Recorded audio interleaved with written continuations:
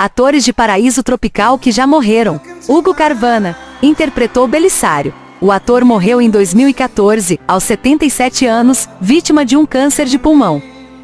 Ioná Magalhães fez par com Hugo Carvana em Paraíso Tropical, na pele da ex-vedete Virgínia, casada com Belisário. Ela morreu em 2015, aos 80 anos, em decorrência de uma sepse pós-operatória. Daisy Lucid interpretou Iracema.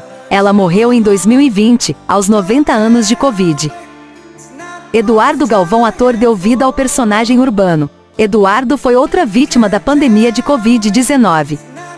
Ele morreu em 2020, aos 58 anos.